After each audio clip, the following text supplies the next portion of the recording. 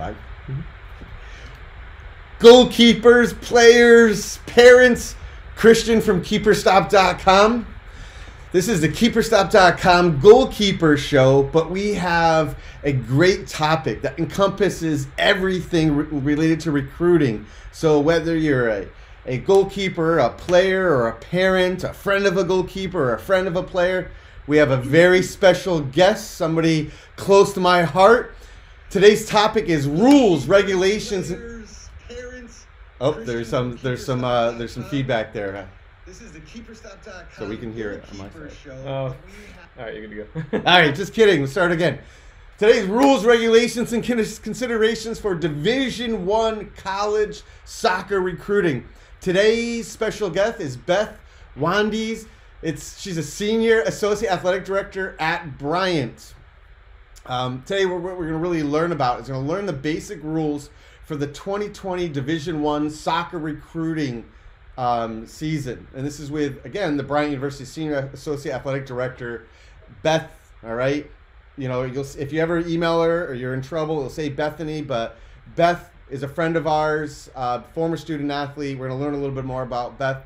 Uh, Beth not only keeps her coaches and athletes compliant with NCAA regulations, but also is a mom of an aspiring Division One athlete.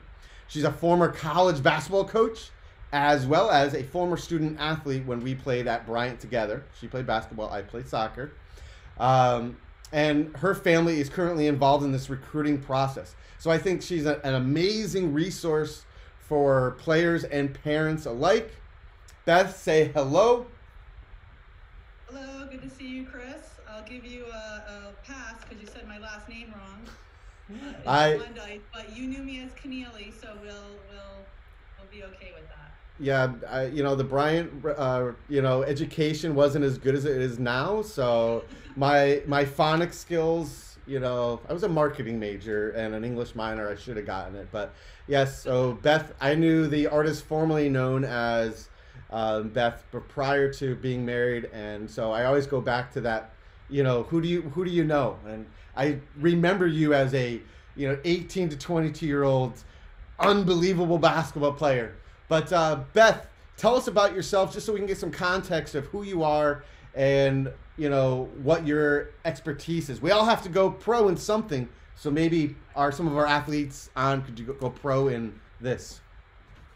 Yeah, so I, as you said, I played um, college basketball at Bryant. Um, then after graduation, I coached Division two and one college basketball.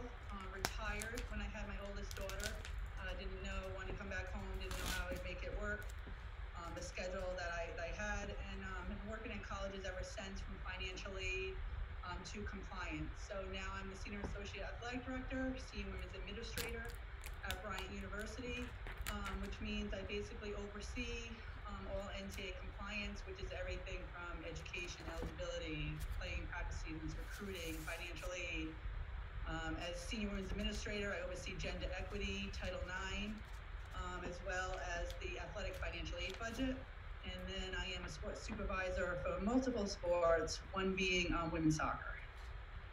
So if you meet her in the grocery store, she's one of the people that have the hands on the purse string. So make friends, all right? I'm, ju- I'm just I'm just kidding. Uh, Beth is by the book. She's an amazing professional, and I'm looking forward to learning a lot. So here's my disclaimer, though. Uh, we are on a YouTube live event, and this is in May 2020. This interview is being conducted May 15, 2020. The NCAA rules change every year. My suggestion, and I'm sure Beth's suggestion is going to be, is always visit the NCAA.org website for the most up to date recruiting rules and information. Beth is merely providing guidance and opinion as she interprets the rules today, May 15th, 2020, as a senior associate athletic director and a parent of an aspiring Division One athlete. So, this is conversation. This is to help guide and kind of put things in perspective. But you know, like doing your taxes, always refer to the IRS. Don't refer to TurboTax. You know, Beth is far better than TurboTax is. Not that they're an endorsee of this program by any means, but uh, so always refer to NCAA for any any any recruiting information. So let's get started. You ready? Especially now, I mean, the rules are changing daily, in you know, with COVID nineteen. Um, so what the rules are today probably are not going to be the same rules next year. Hopefully, we're in a much different space. Um, so you know, this is pertinent just as of today. All right. So based uh, based on that, what I want to go over is just to start. If if anybody takes anything away from this, there's so much information that's available regarding Division One recruiting, and the information for one, two, and three all differ. So again, this is Division One recruiting. Um, the rules change every year. What is the best resource for athletes and families to understand the rules? Yeah, like you said, you always reference NCAA.org, um, the NCAA Eligibility Center as well, depending on uh, what year you are in, because a Division One prospective student athlete will have to register with them. Um, also, and I'm not endorsing any recruiting services um, when I say this, but I do reference the um, NCSASports.org website uh, frequently. They just lay it out really cleanly and um, easy to read. NCAA is not always puts things out in layman's terms. Um, so again, can't trust that everything is quite up to date on that website. It typically is, um, but that is a good website to reference for the rules and to get calendars and things like that. I would have to agree. The NCSA has a ton of information. Obviously, they're trying to have you sign up for the recruiting services. And again, I understand you're not endorsing any of that, but like anything, they're great abstracts to read if you want further clarifications. As a former Division One coach for over a decade, um, Division Two and Division Three before that, I mean, the NCAA book is thick, you know, so it is sometimes like reading a law journal or uh, a tax publication. But again, it's what it's for is to make sure that there's no no wiggle room. So that's great. Make sure you take a picture of that. You write down those references. So, um, you know, if you guys have any questions, I'm, I'm, I'm sure that you can ask them um, afterwards. I'll be happy to answer any if I can. Um, uh, but we understand this is a difficult process, but these are some of the things that we do suggest. So, currently, what are the key years and dates for Division One recruiting, such as when to contact coaches, uh, go on visits, register for the NCAA Eligibility Center, which is always a big one when I was involved. Yep, so um, right now, the NCAA just extended our dead period um, due to COVID 19. So um, things have changed. So the typical dates are, um, you know, not holding as true. Uh, we're in a dead period until June 30th, 2020, which means that you're not permitted to um, on campus recruit or off campus recruit. So student athletes can't come on campus for an unofficial or official visit and our coaches can't go out um, and see them play either. So, um, you know, a little, little different this year. But for 2020s and 2021s, um, you know, what's going on right now is the same thing that's been going on for them. Programs are still recruiting, classes are not made at every single college. Um, you can phone call, text, Zoom, email coaches anytime. When visits become permissible, you are able to do that at this time and you know send film and reach out and ask questions. I mean these are juniors and seniors uh, we're talking about and if you're in contact with coaches then ask them questions. Where are you in their process? What does their process look like? What are their timelines? Some coaches may want to wait and see kids again or they may not want to or their class may be full. So it's you know good questions to ask. Also a good time for those classes that if you're not getting interest that you felt you maybe should have is maybe look at other options, look at other levels. There's many levels of Division One. Um, there's also different divisions, as Chris said, Division One, Two, and Three, and it's all good soccer um, at each level. So um, that would be my advice to those classes. Um, for the 2021s, um, little stressful. I'm sorry, 2022s stressful right now as June 15th approaches. That is the big day for um, current sophomores. Um, that is the day that phone calls and emails can begin happening. So it's supposed to be the start of the recruiting process um, for the 2022s. Um, as of right now, as of I, as far as I know, that is can still happen on June 15th. In this dead period, the NCAA is still permitting phone calls to those that it's permissible to. Um, so that's the big day um, for them. And then in a perfect world, official visits and unofficial visits can happen August 1st. So again, that will all be dependent on um, the opening of states. And as long as the NCAA doesn't um, continue to extend that, that dead period, which um, we've heard it may go through the end of July, they may extend to then, but we haven't heard um, through August. On June 15th, things to expect for the 2022s is the phone calls to include virtual, text. They can private message you on social media because that is like an email, um, email as well. You can receive verbal um, offers of athletic aid. Um, not permitted to sign anything um, financially at this time until you're a senior.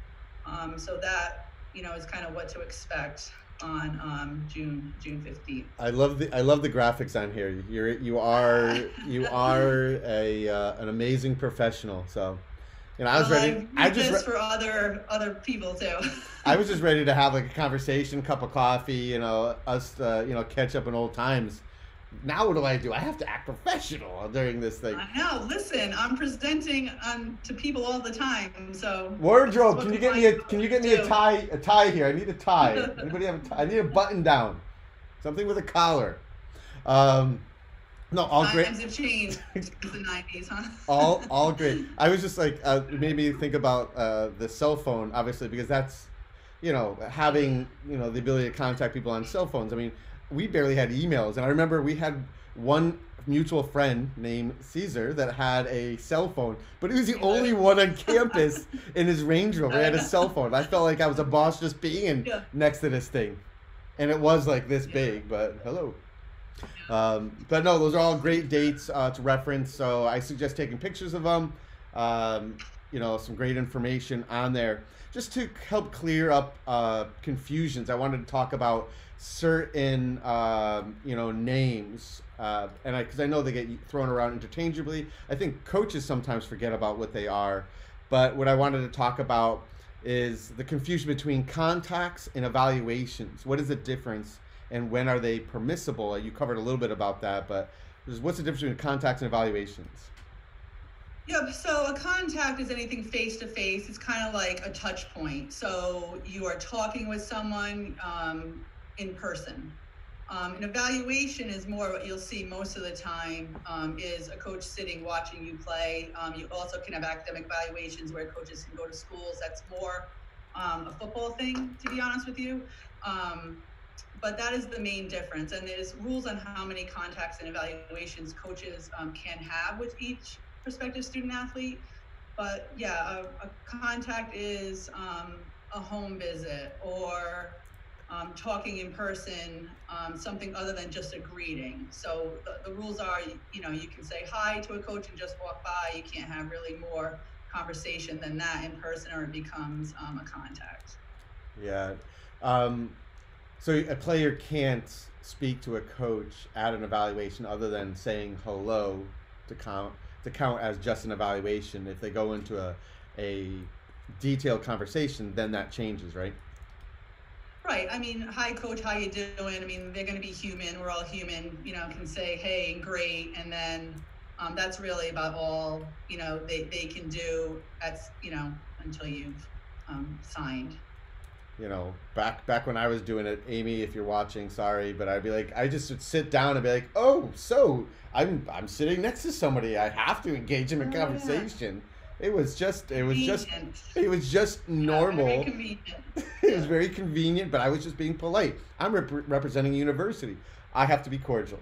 So, but Right. I those- mean, it's hard. You're all crammed around this field. There Yeah. are supposed to be certain spots that the coaches sit and the parents are in other areas, but um, you know, Yeah. we were at ECNL showcases in December and January, and that was not the case of what was happening. So, I mean, everyone can be human and you know talk. Just don't talk about your recruitment. they know they know who you are. So, and you and you're like, um, all right, go sit over there. No, just I'm just kidding. I mean, it's it's got to be difficult for you because you wear multiple hats. Obviously, as a professional senior associate athletic director, and as a as a parent going through this process. So it does have to be uh, difficult. Yeah, the hat does come off. I mean, I'm there to watch my daughters, and um, I'm not there to, Of to course, I regulate know, I know. anyone. I, I know.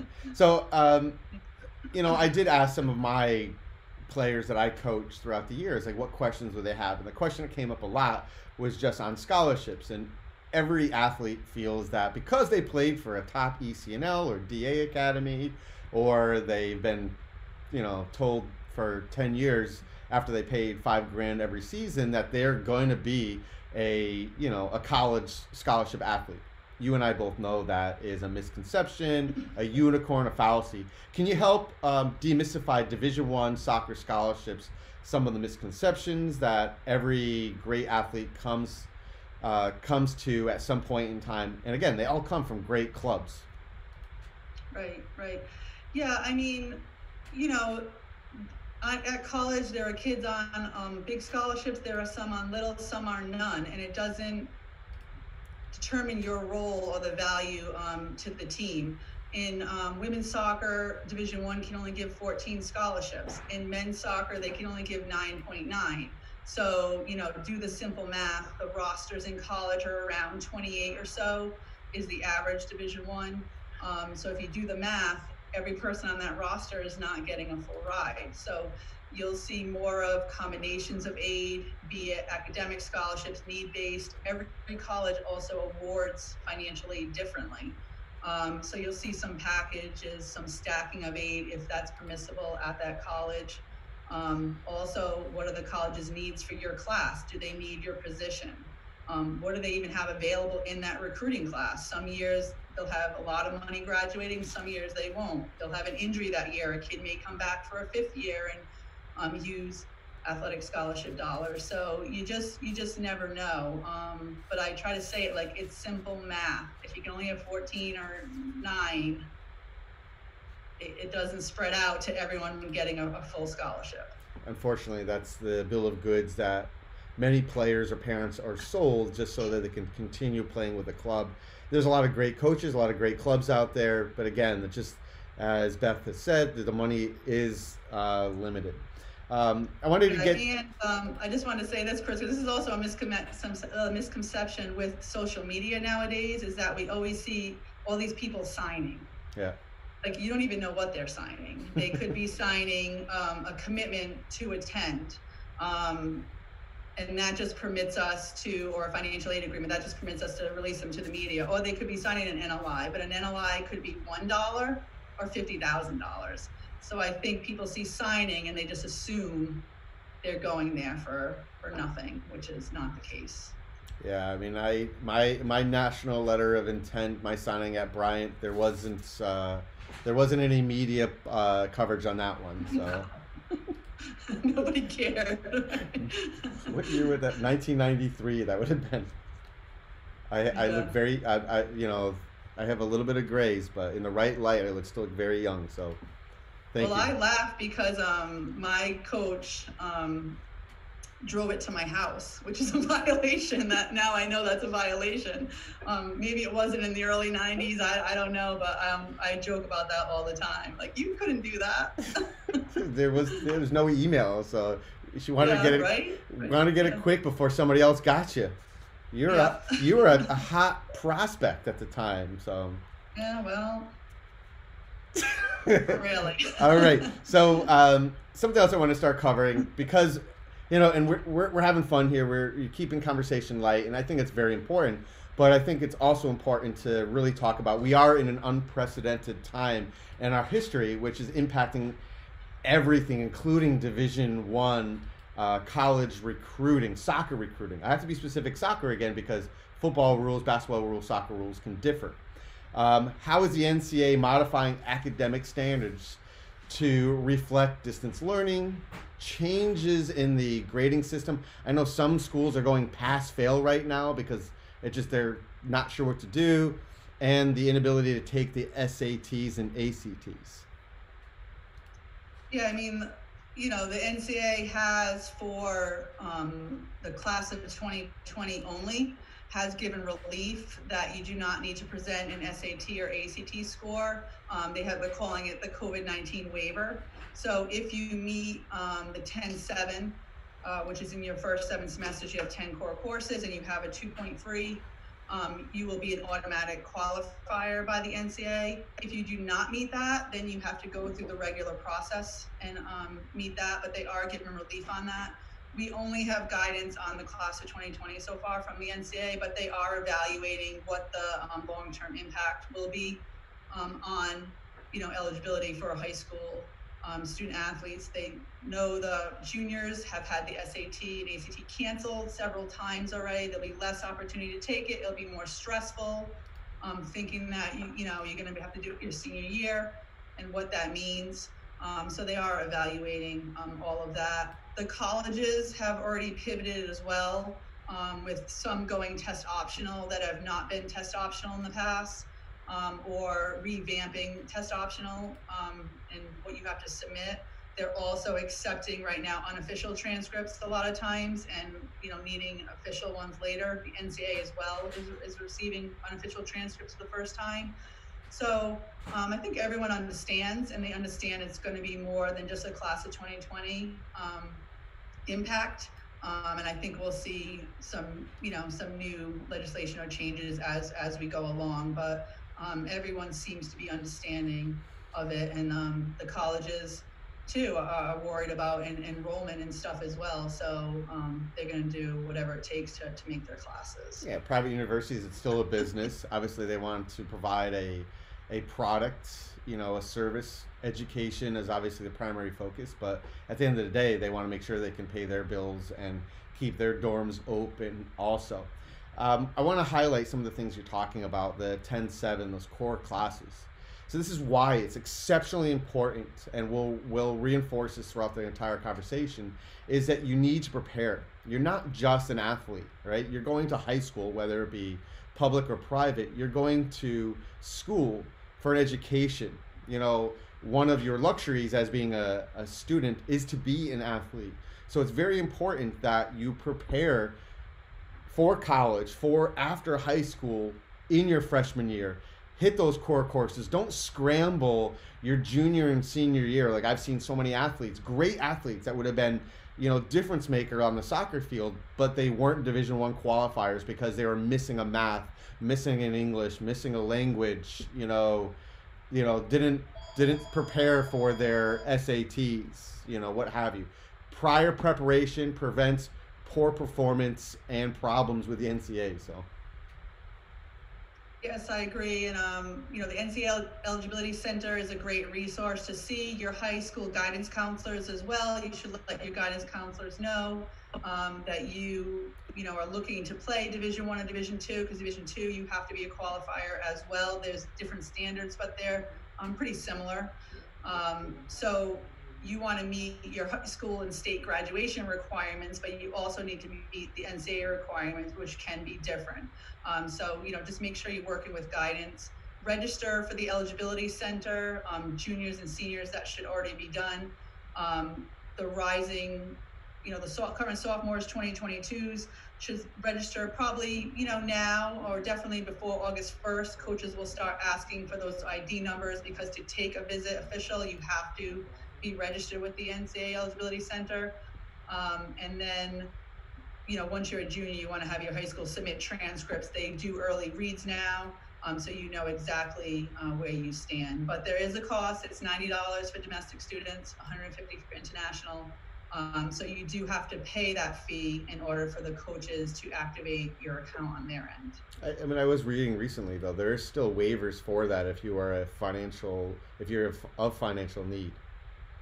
Yes, if you, um, and I'm losing the terminology right now, but if you qualify for free lunch, um, then there is a waiver and your high school guidance counselor will, um, can submit that on your behalf to the NCAA. That's great. I mean, again, the NCAA also wants you to be on the field legally by their standards, but also meet your, you know, financial contribution levels as well. So everybody's working for the same reason, which is to you know maintain their eligibility, get you an education.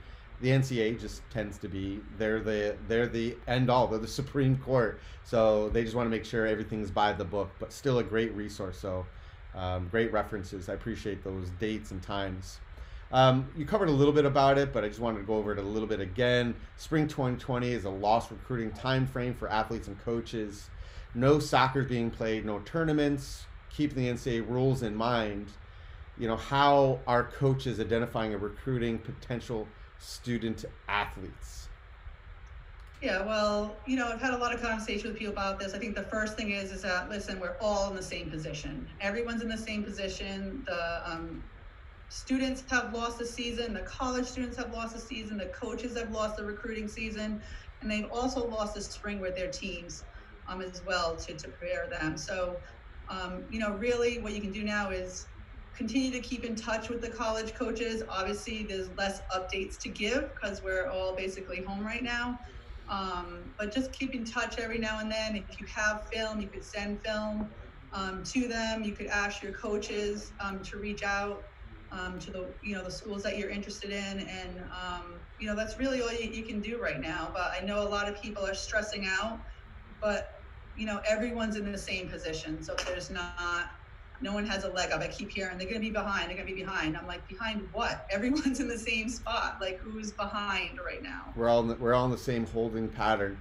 Um, Yes. Some of the coaches' conversations that I've had are, you know, they're being creative as far as the films that they watch. So, you know, and this is again me. This is not Beth's, uh, you know, advice. You know, you can counter it if you'd like. It's just that you know, you can send your coaches full games, you know, that were happening just this past fall.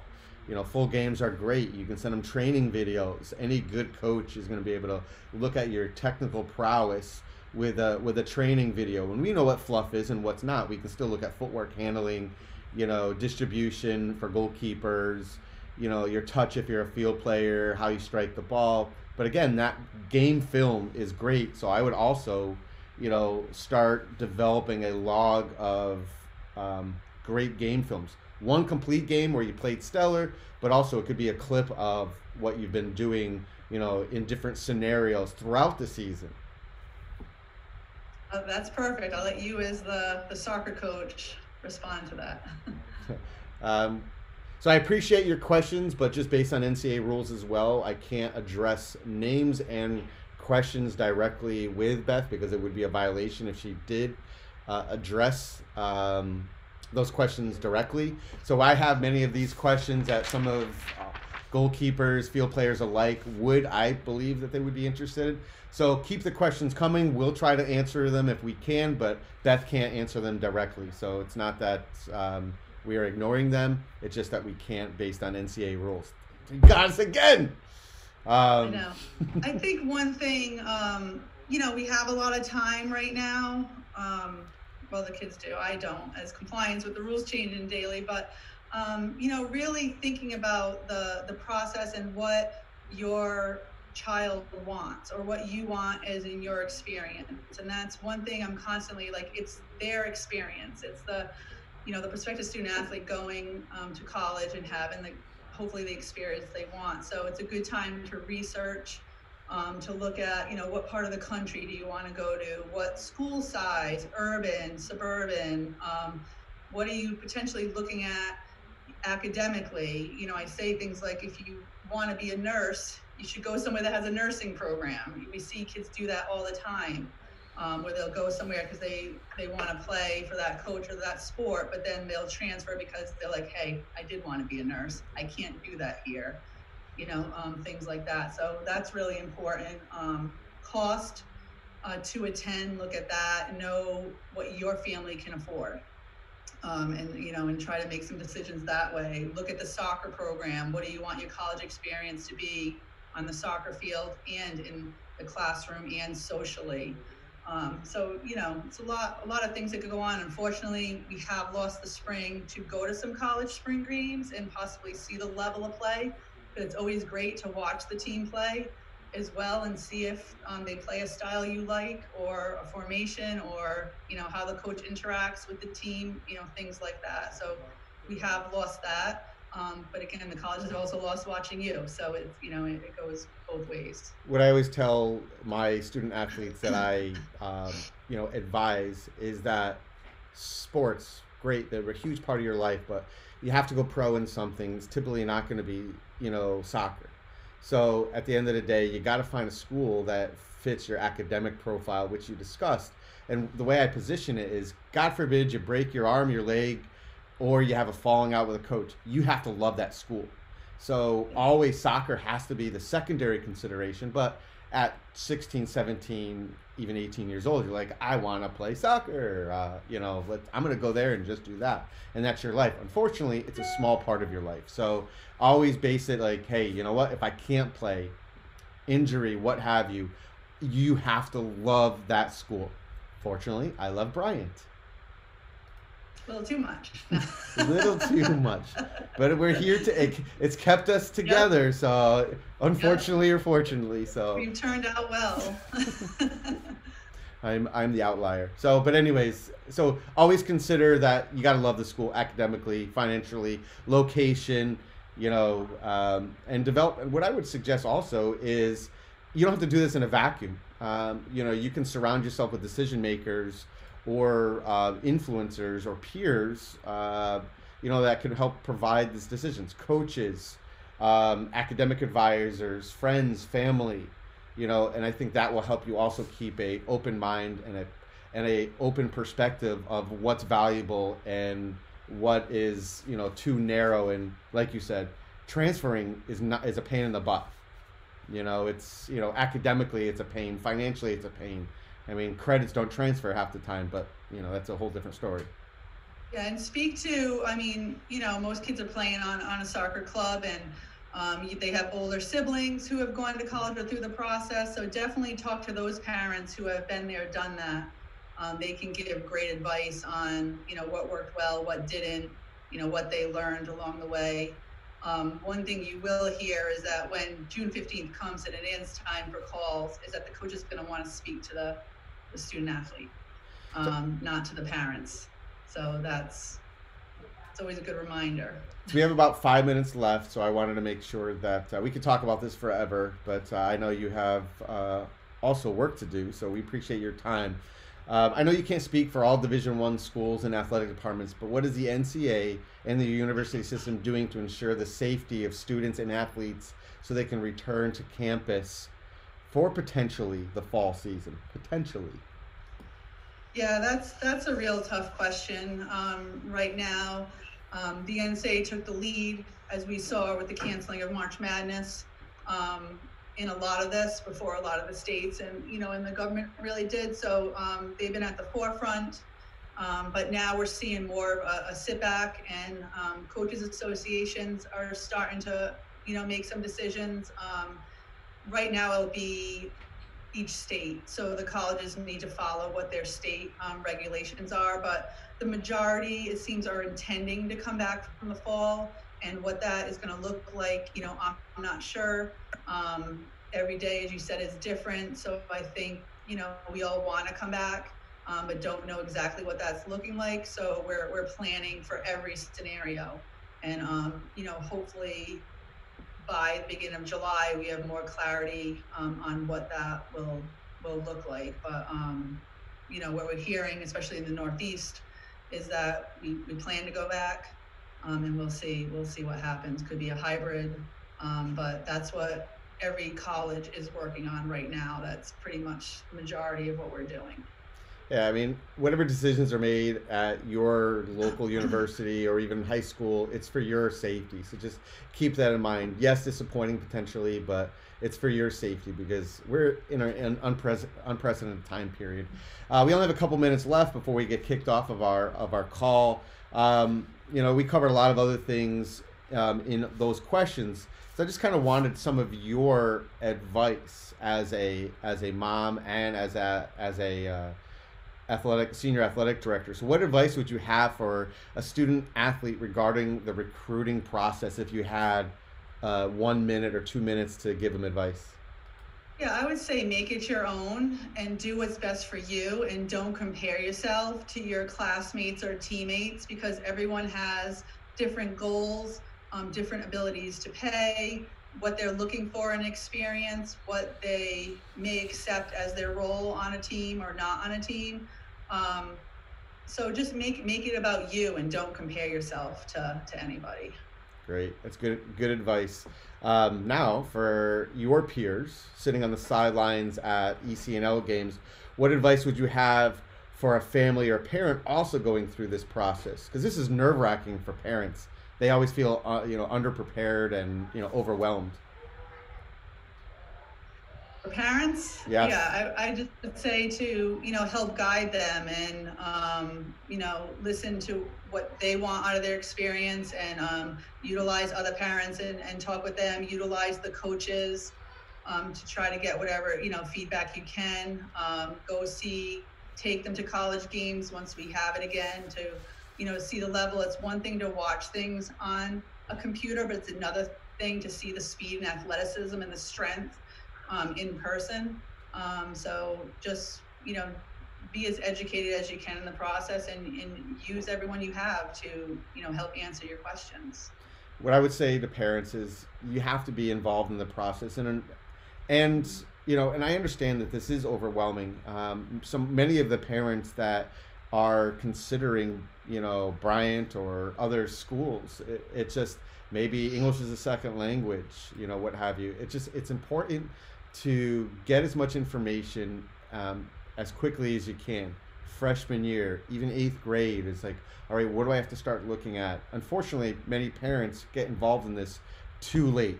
You have parents that do it too early and are like, I need a full scholarship by sophomore year. And then you have other parents, second semester, senior year, like, what are we doing? Again, prepare early you know, it is overwhelming. So, you know, take in parts of the NCAA booklet or the rules and regulations as they come about. And it's just great to familiarize yourself with. And if you have questions, the NCAA has 800 numbers that you can call. Um, I've never called them, but, you know, you can ask them, you know, questions, you know.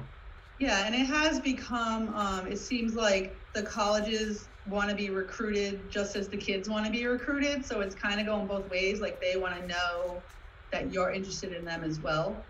Um, so, you know, definitely, you know, start emailing, you know, usually I say by spring of freshman year during that season, um, just to reach out and reach wide. I mean, you know, I mean, I wouldn't pigeonhole anything too early. If, if you, if you don't have an idea of what level, um, you, you know, should look at is just, you know, reach wide and, and see what happens. Very good. Well, I wanted to thank you again for your time.